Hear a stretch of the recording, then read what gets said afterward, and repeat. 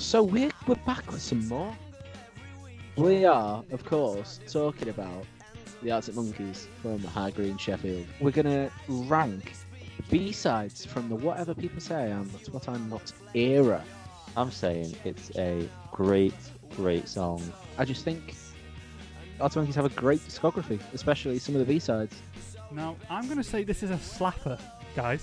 Absolutely, get it straight up in there. Oh, I love that. Absolutely, This is the absolute- my friend.